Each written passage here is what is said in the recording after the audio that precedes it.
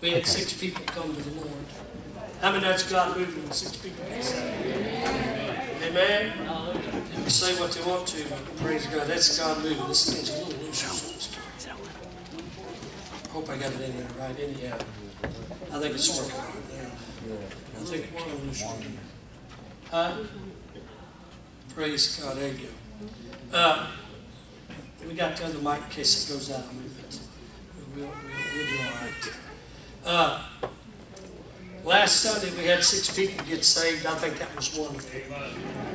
People get saved. That's what it's all about. Amen, church. I tell you, the church is doing something right when people are finding Jesus. You know, they can. You, can shout until you're blue in the face, but if ain't nobody getting saved, you got a problem. Amen. We had six come to the Lord, and we preached a message about uh, Mother's Day. We preached on the women of God. We never finished it about the great women of God. So I had a lot of people ask me, said they were just so moved by that sermon last week when I finished it. I think that's what I'm going to do this morning. I'm going to talk about the great women of God. Please turn to somebody beside you if you're a woman. If she's a woman, look at her and say, Are you a great woman of God? Praise God. Then look at it one more time and say, I believe you're going to be a great woman of God. Praise God. One of the great women in the New Testament was the mother of Jesus. It was Mary. We probably won't get to Mary today, but let's, let's read what she had to say when she found out, or uh, when she went to visit Elizabeth. And uh, she said, look in verse 46. This is one of the uh, greatest prayers that was ever prayed. Mary, the mother of Jesus. Now, the word Mary means bitter because she was going to have to face some bitter things in her life. And verse 46 of the first chapter of Luke says, And Mary said, My soul doth magnify the Lord, and my spirit hath rejoiced in God my Savior. For he hath regarded the low estate of his handmaid. For behold, from henceforth all generations shall call me blessed. For he that is mighty hath done great things, and holy is his name. His mercy is on them that fear him from generation to generation.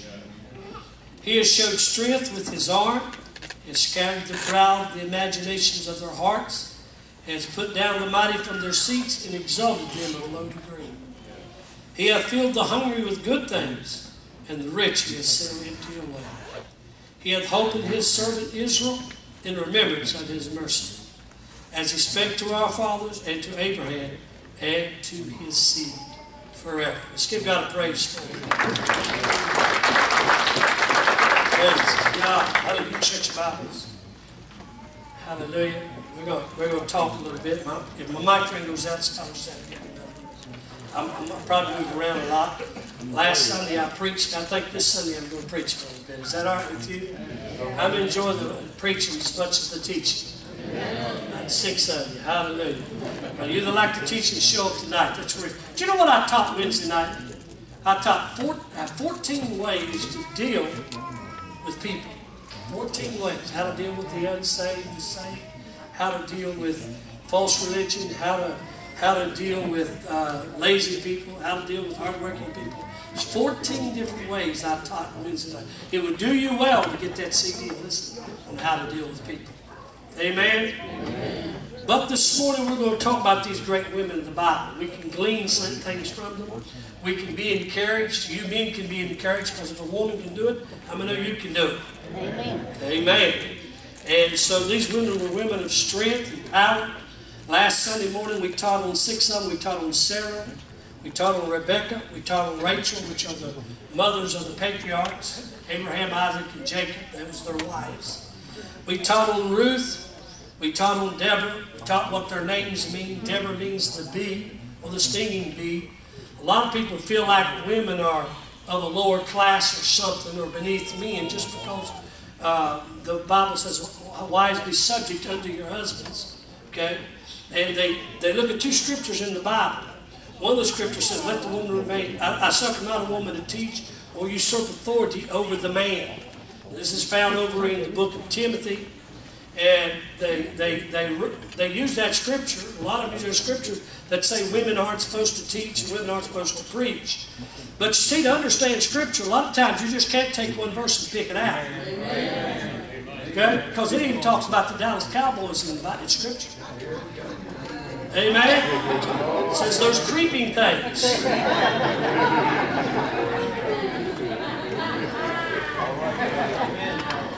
Huh? I mean, you can make it say anything, amen? But uh, uh, uh, in that scripture in Timothy where it says, I suffer not a woman to teach or usurp authority over the man, they'll read that and they'll apply it to you ladies, but that's not, they're applying it wrong. Because you've got to read the verse behind it. Okay? What's the verse behind it say? The verse behind it say, For Adam was first formed, then Eve. Why does it say that? Why did he put that behind that? Because in this word uh, woman here, suffer not a woman to teach, you, usurp authority over the man, the word woman and man are the Greek words husband and wife. It's not a reference to a woman teaching in church. It's a reference to a woman being in, in her home that she's subject unto the man, okay? Now, though you're subject unto the man, that was a curse that was given on Adam and Eve back when they failed. Though you're subject to the man, the man's supposed to honor you and respect you and love you, even as Christ so loved the church and gave himself for it. So it isn't a place of dishonor, it's a place of honor. Then you have another scripture in Corinthians 15 talks about the woman, said, uh, uh, talks about the woman, be, let the woman keep silent in the worship service and, she had, and again, it's a reference to husbands and wives. Because the next verse, read the next verse. Next verse says, but she, she has to ask anything, let her wait till she gets home and ask her husband at home. See, in Jewish times, they worship in two separate places. Men and women didn't worship together. Holy Spirit would fall on the men, and the women get all excited. And then would start hollering, hey, what's going on over there? Well, you know, tell us what's going on, and it would interrupt the flow of the Spirit. So both of these are reference to husband and wife. So ladies, let me say this to you. You can't teach and preach in the Word of God in the Bible.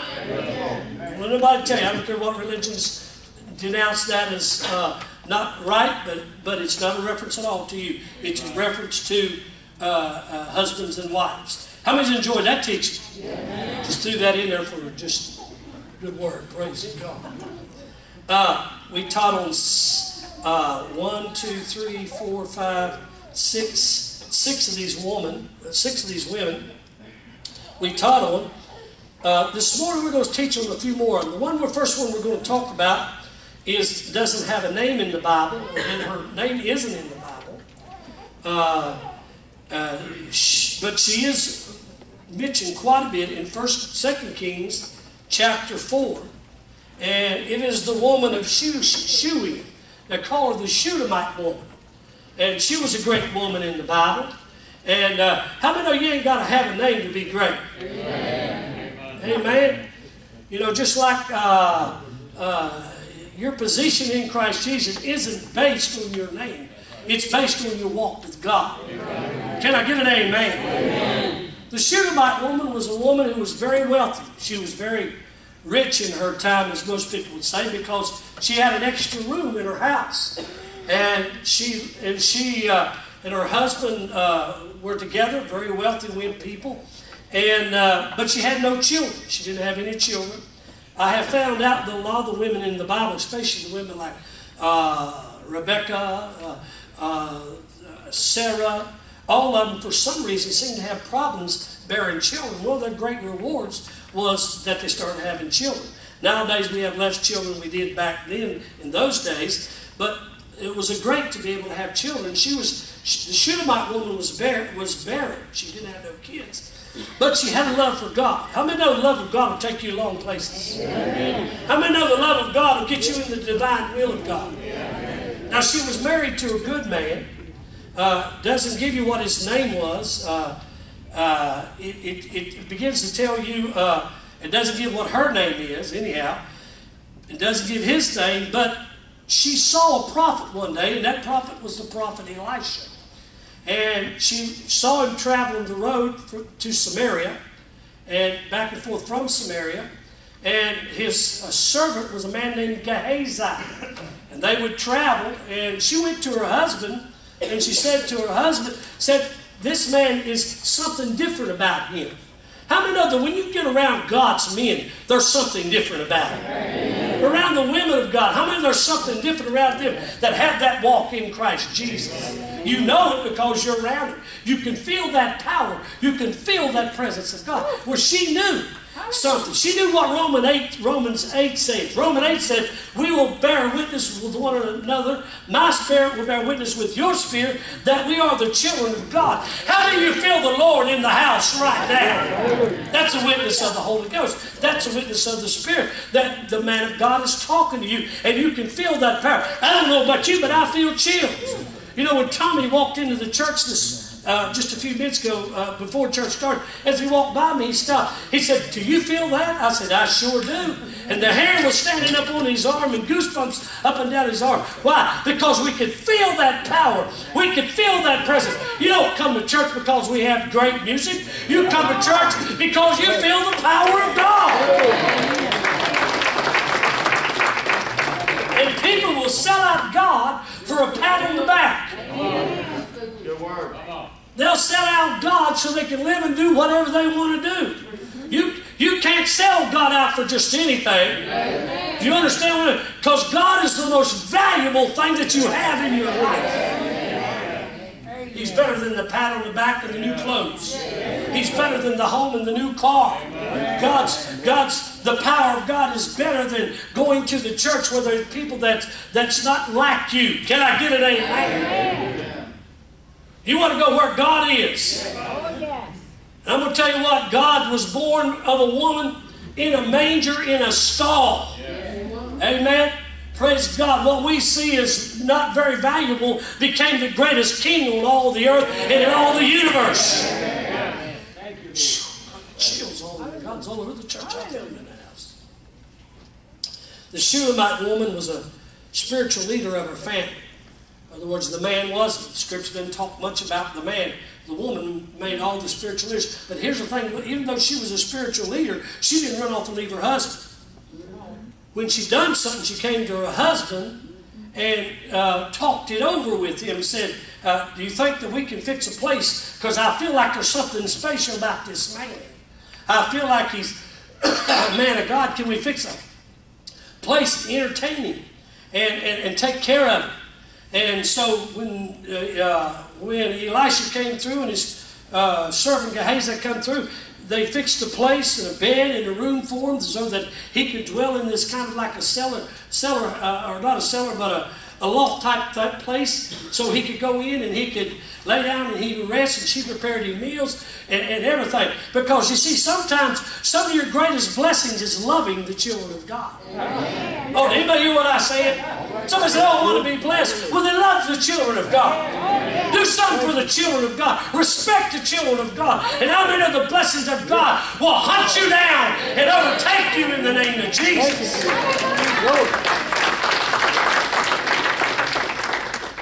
She fixed a special place for him. After about four years of doing this, notice four years. Notice this, four years. Four years she kept doing this. Every time he'd come back, come on in, let's fix you something to stay as long as you want. Pray as much as you want. Do you have any need? Can I meet your need? What do you need? You need some food to go? What do you need? Some money? She's met his need for four years, and after four years, uh, God spoke to her. Uh, a, uh, Elisha the prophet said, You need to do something for this woman. You see, Faithfulness isn't based on 30 days. Oh, did you hear what I said? Faithfulness isn't based on one year, two years. It was four years before the promise of God came in her life. And then Elisha said to her, said, All right, uh, I'm good. the Lord's going to bless you. You're going to have a child. And she immediately talks back to him and says, Don't tell me something like that because it's the desire of my heart. It's what I really want. But see, she remembered Sarah. God told Sarah, I'm going to give you a child. But Sarah didn't get it in four years. She didn't get it in 10 years. She didn't get it in 20 years. 25 years later, after she got the promise of God, it showed up. You can't give up on God's promise just because it takes a little time to get to you. Oh, I mean, feel God in this house this morning.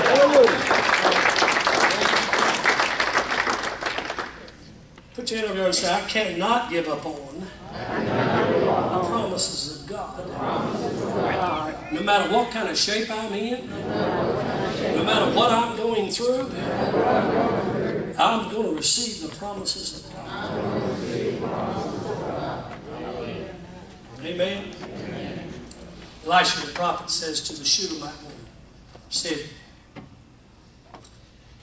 You're going to have a child. She said, Oh, don't tell me that. He said, Yes, you are. You're going to have a child. And sure enough, she has a baby. She has a child, a young boy. It's the love of her life. Something she cared so much about. But you know, as we journey through life, enemies sometimes will try to steal, rob us of the things that God's given us. The blessings that God has given us. Amen. Amen. Well, he went out one day with Daddy to work in the field. When he was out working in the field, he had a sunstroke. And he dies. He, comes, he said, Oh, my head, my head. And he go, they carry him into his mother, and he dies in her arms about four or five years old. He's out there with Daddy in the field, and he dies. She immediately grabs him and picks him up, and she takes him up to where the prophets have been praying. She wants to get him back to where the prophet's been in touch with God. How it would do us, us all well to learn where you have experienced God. And then when you're in the middle of a trouble, you run to that place and find God. Amen. Can I get an amen? amen. Run to where it is. You know, I remember when I had one of the greatest troubles in my life that I ever experienced in my life. People say, What did you do? I had a key to the church.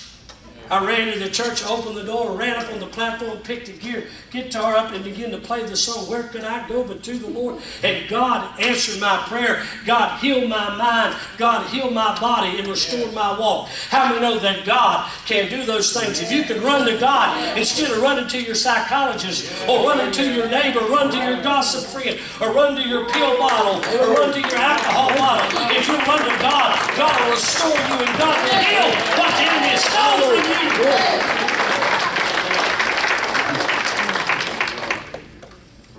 Shunammite woman said, Don't touch him. Shut the door.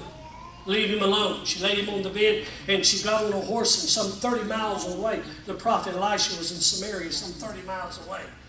She took her servant, she told her servant, said, Run ahead and tell him I'm on my way. And so she runs overnight, she about runs the horse to death or whatever she was on. She runs it to death trying to get to the prophet. And they see her from afar off, and Elijah, Elisha says to Gehazi, This doesn't look good. I got news from you. God can see your problems from afar off. Amen. Oh, I felt the Holy Ghost today. Woo! I said, God sees the trouble coming. Let me tell you what, He sees the trouble coming down the road way before you see it. There's nothing in your life that's going to sneak up on God. Or your marriage, or your home, or your job. If you lost your job, God knows about it. If He knows there's going to be a problem in the marriage, God knows about it. And I got some good news for you. You just need to keep walking by faith. If you keep walking by faith, God can solve your problems. I said, God can solve your problems. I don't care what they are. God can solve your problems. So Elijah says to Gehazi, go meet her. Gehazi runs out to meet her. Runs out to meet her. He said, what's wrong? We know about your attitude and the way you're running and what's going on. There's something wrong. And the woman said, uh, the woman said to him, All is well. Oh, yeah. Her boy's laying dead, yeah, but all is well. Yes. You see, the problem was she didn't want to get to the preacher, which was Gehazi. She wanted to get to the master. Yeah. See, you got to get past the preacher sometime if you want to get your answer in life. Not all your preachers has the answer. The man that has the answer is your master. The man who has the answer is God Almighty. You sometimes got to get past the crowd. Sometimes you got to get past the singers. Sometimes you got to get past the preacher. You got to get to God for yourself. You need to find an altar and get on your knees and say, God, I need your help in this situation. You take charge, God. I know that you can do it. All is well. Oh, I feel the Lord. Amen all is well. Woo, glory. She said, Preacher, you're fine and I love you, but I ain't got time to sit here and talk to you about the answer. I've got to get to the answer. She said, Get out of my way. Where's that prophet?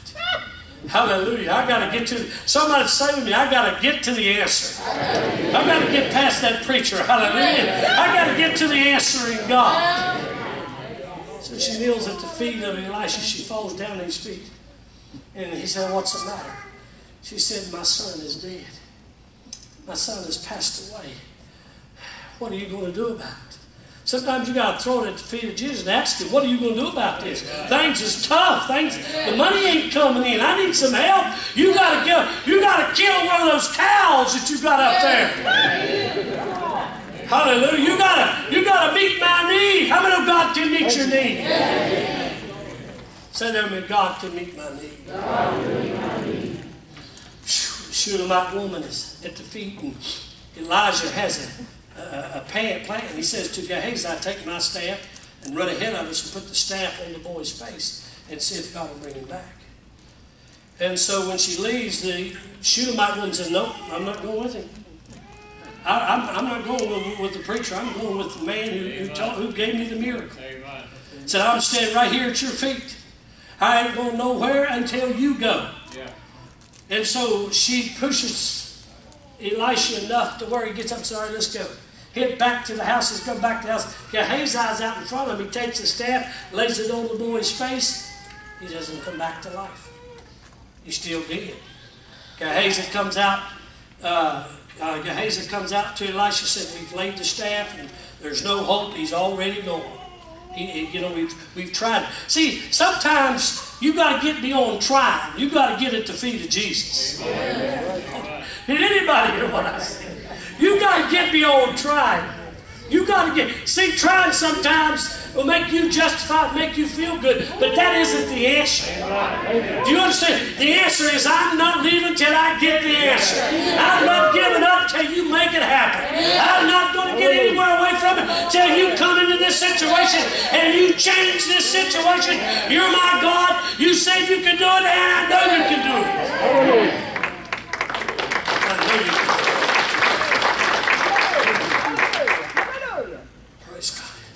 Isn't God good? All the time. All the time. So Elisha goes upstairs. He, he takes the little boy and he, he starts praying for him. It doesn't happen right away. You know, sometimes the miracles just don't happen right away. But he laid, the Bible said he put his face against his face and his lips against his lips, and he breathed into his body. Okay?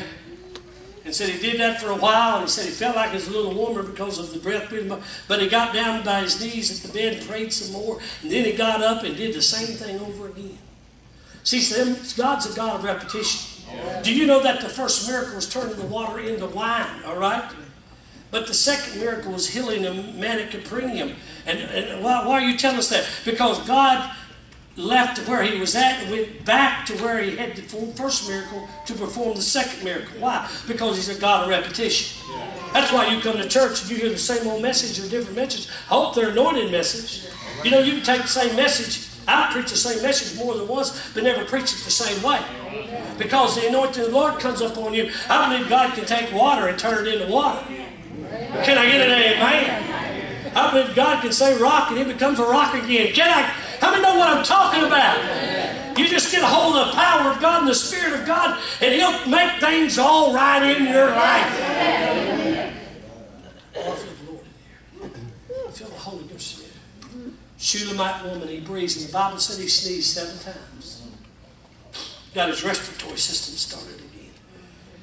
And then he hollered for the woman and said, Come on up and get your boy. Can't you see the look on her face? When she came in there, you know, me and my son Scott, I tell the story many times. I cry every time I tell it. Me and my boy Scott was living on a farm. Scott was a baby, or a young little old boy. And uh, we were living on a farm. And there was no way in and out the, to the farm. The road was so bad you didn't have a car that could go up in there. So the only way out was a tractor. We had a tractor, which took us in and out of the holler down to the farm, down to the car. And me and Scott got on that tractor and he said, Daddy, can I go with you to the store? I said, Well, you sure can. So he gets up, he's real small, and he gets up underneath the seat like, right beside me. And it's a tricycle front end. Does anybody know what a tricycle front end is on a tractor? That means when you make left, you go left. It ain't no making a big circle, you go left. Now, me and driving down the road, and Scott grabs my shirt. He says, Daddy, he said, uh, he said something to him, and I looked back and said, son, just sit there and be quiet. And when I looked back up, well, I looked back at him, I turned that wheel to the left. And that tractor dropped over a mountain. And I reached back for Scott to grab him. And when I seen the tractor go over the mountain, I reached back to uh, grab him. And just, just to hurl him from the tractor. But he got scared and he went back up underneath the seat. Do you know the terror that went through me when that tractor rolled over? And landed upside down on, at the foot of that mountain. Do you, you know the fear and the terror that was inside me? I screamed, Oh God, save my boy. As that tractor rolled over the hill, landed upside down. Said, God, save me. I started, God. Just for a brief second, I didn't hear anything, and all of a sudden, the voice said, I'm right here, Dad. See, it hurled me off the tractor down, down through the field. It hurled me off, and I jumped up and screamed, Scott. And I ran back up and looked, and he landed. The tractor uh, seat was buried about six inches in the ground, and the wheels had stopped the tractor from going down upside down. And I looked, and he had landed between the wheel and the seat. And I just went in there and grabbed his trousers and his leg, and I drug him out underneath that tractor. And I dropped to my knees, wrapped my arms around him. Must have cried for 20 minutes because God took care of my boy. I know what this woman felt when she seen that, seen that baby there. She, she dropped on her knees. And the Bible tells us that she when she dropped down, she did leave the feet of Elisha. She dropped down at the feet of Elisha. Sometimes we've got to get at the feet of God to get our prayers answered. You got, and when you drop down there, you can't turn loose. You got to get humble. You got to be like that. Be like that one woman in the Bible. The Bible said she, you, uh, Mary of Bethany. Mary of Bethany. Bible tells us that when she anointed Jesus, she anointed his feet and began to clean and wipe it with the hair of her now that's adoration. Now that is love. How many of you love God? How many know you can be thankful that your children are still alive and they didn't die in that car wreck? Do you understand what I'm saying? Because the prayers of your mother and father were with you. Restored the boy. Later on, we find the story as you study it out. The Shunammite woman uh, actually gets a warning from Elisha there's going to be seven years of famine, you better leave. She takes her boy, doesn't tell where her husband is now, he evidently has died, but she's got the young boy still with her. And later on, she goes, Elisha tells her, You better leave, a famine's coming on the land.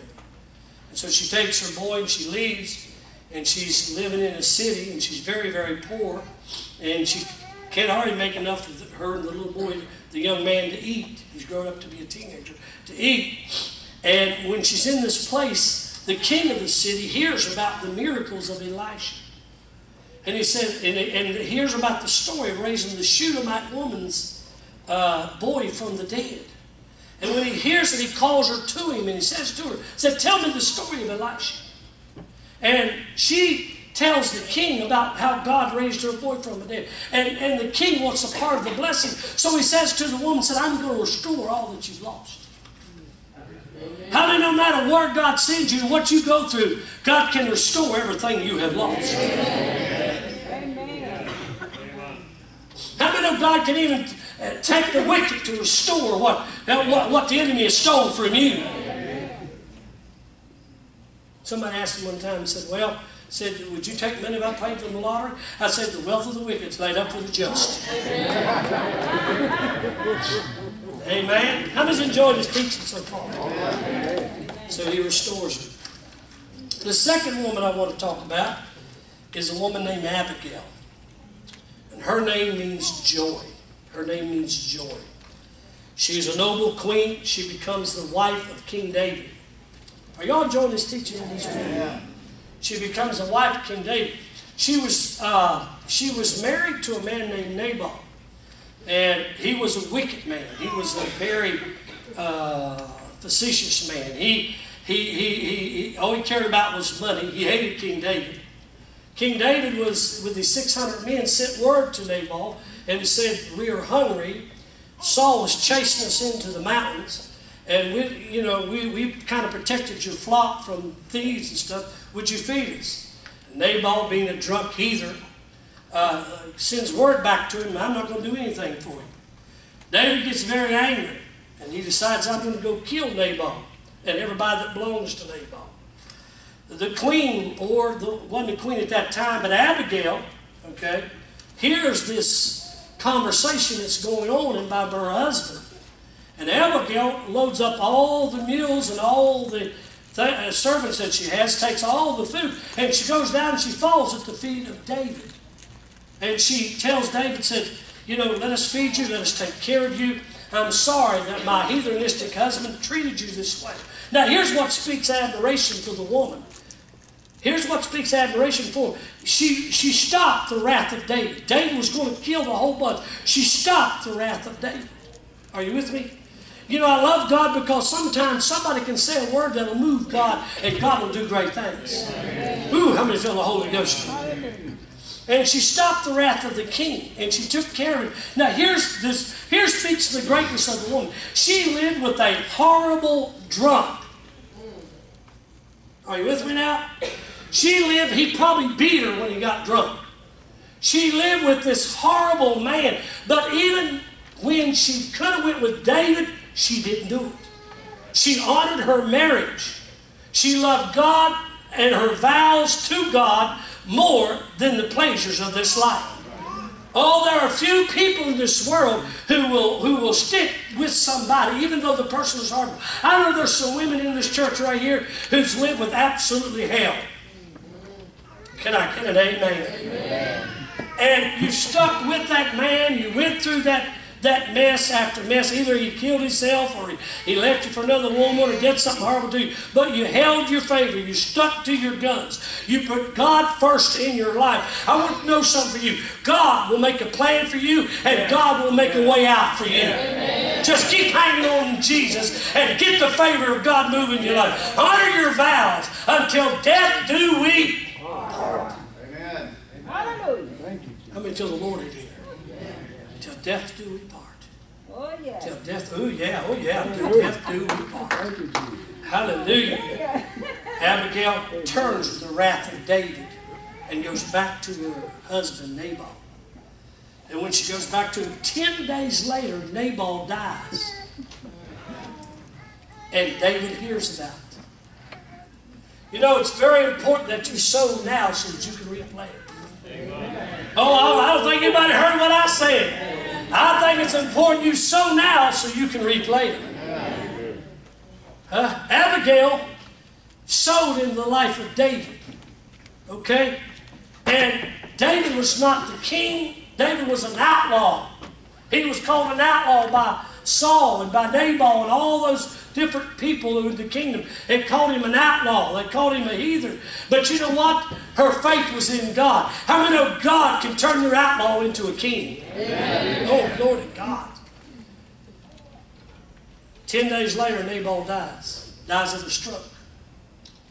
He dies. And when he dies, they tell David, said Abigail's husband is dead. Well, much later than that, David sent word to her, and said, Come on. I want you to be my wife.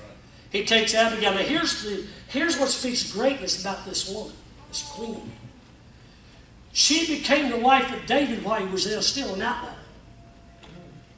All right?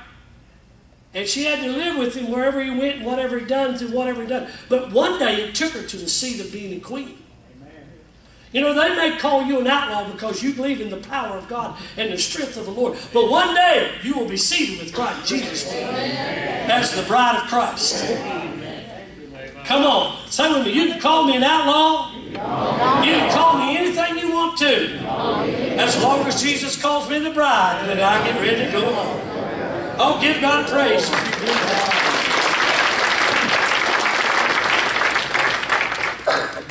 Can I preach one more? Add six more and we'll preach. I'm going to preach one more.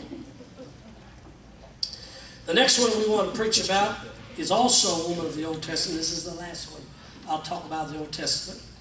And her name was Esther. Esther means star. Uh, she was named uh, after the heathen god Astar, which is what they use for Easter. A lot of times, a lot of people don't even like calling it Easter. Most people call it the resurrection. Okay, because Easter is a reference to uh, Astal, or the heathen god of the spring. Okay, the book of Re- now here. Let me tell you something that's interesting about Esther. Esther, in the book of Esther, there's 10 chapters in the book of Esther. In the book of Esther, God is not mentioned one time. Not one time is the word God mentioned in the book of Esther. Are you with me now?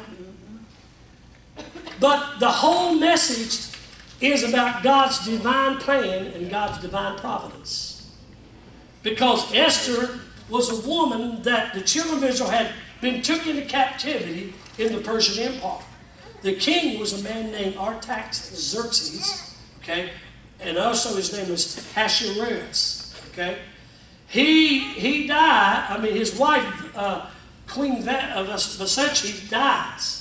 And when she dies, he's looking for another queen. Now, see, God has a divine plan in your life. Please turn somebody aside and say, God has a divine plan in the life of you and your children. How many feel the Lord in here? Okay? Well, while, while they were in captivity in Persia under Artaxerxes, while they're in, while they're in captivity there, there was a man named uh, Haman, and he was one of the king's envoys. He was close to the king. But he was a type of Satan. He was a type of the devil. He hated the children of Israel. He wanted them killed. He actually went and made ten gallows so he could hang every one of them on the gallows. And back in those times, they had a, a law that you could not approach the, the king at any time unless he held your scepter out for you. Because if you did approach him without being told that you could approach him, they took you out and they killed you right there on the spot. So Queen Vashti dies, and when she dies, they're looking for another queen. Now, Esther, according to Scripture, was one of the most beautiful women that ever lived. She was that, she was that beautiful. She was pretty. So she was rounded up with the other king, uh, uh, women to see who was going to replace the, the queen. but she was commanded by her, by her uncle Mordecai, don't tell him who you are. Don't tell him that you're a Jew. Because God's put you in, ooh, I feel the Lord, has put you in this position for such a time as this. Don't tell. Sometimes you can't tell people the plan that God has in your life. Do you know times that God has spoken to me? I want to get up on the platform and say, This is what the Lord is going to do, but I had to keep my mouth shut. When I was at the old church, I told God's folks said, You're going to build a church. I'll put the money in your hands and you're going to build a church. I wanted to stand on the platform and say, Oh, everybody rejoice. God is going to do it. But it was a year or two later that I was able to say that. There was times, there's times when God's talking to you. You've got to keep your mouth shut. And don't let the devil steal and rob you of your blessing. Let me feel the Lord. Don't let the devil steal. Mordecai says to Esther, Don't tell them that you're a Jew. Because something's going on. God's got a plan. She said, Well, I don't want to do it because if I approach him and I don't do it right, he said, They'll kill me. And God and, and, and Mordecai says to Esther, If you don't do it, God's got somebody else that will do it.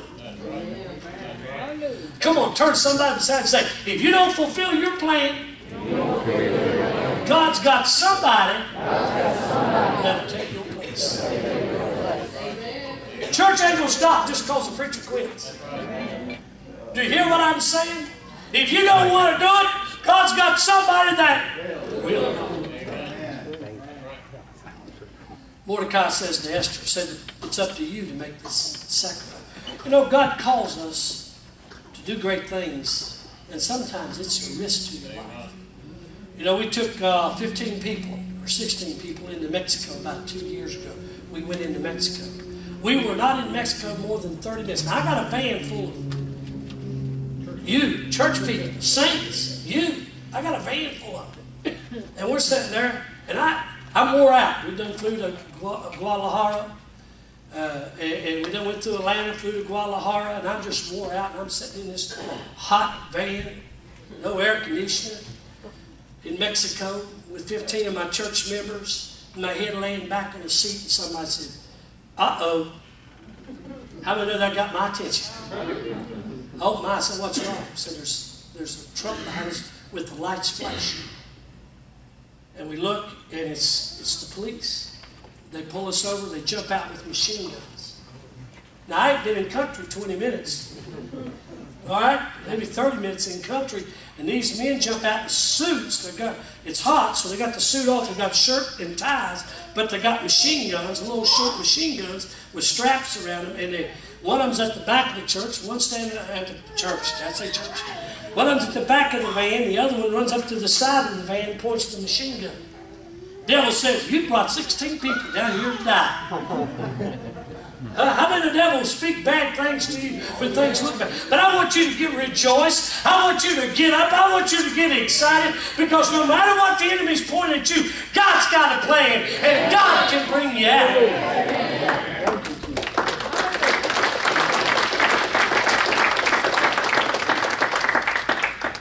Yeah, get my musicians up here. Those boys planted those machine guns at us and, and, and said, What are y'all drug runners? What are y'all doing down here? I thought, do we look like drug runners? huh? Do we look like drug runners? We weren't. But God's goodness and God's grace and God's mercy, Maria's father knew the knew those people. And they let us go on. Now, we went to church for uh, 11 days. In 11 days, we had 80 people born again. If we had stopped and not followed the plan of God, those 80 people would be lost today. So no matter what the cost, no matter what the price, you've got to fulfill the plan of God. Put your hand over your heart and say, no matter what the cost, no matter what the price, I've got to keep on going to fulfill the plan of God. That night, Esther prayed, God be with her. Because if she made the wrong move, she was going to die. But she made the right move and danced before the king. And the king was so overwhelmed with her beauty, so overwhelmed with her dancing. He held his scepter out to her and said, Whatever you want, I'll do it. And Esther looks at the king and said, King, said, the only thing I request is that you don't kill me. King looks at her and said, What are you talking about? I held my scepter out. I am. I'm not going to kill you. She said, You put out a, a warrant for all the Jews to be killed. Haman has sent them out to kill all of them. And I am a Jew. I am, I am one of those people that you are going to kill. And the Bible said her request turned the heart of the king. How many know God can turn the worst circumstance that you have into something great? King looked at Esther and said, What can I do? She, he said, Save my people. He not only saved the people, but he took Haman and his sons out and hung them on the gallows. See, you, you got to be careful about building things against God's people. You're liable to hang yourself.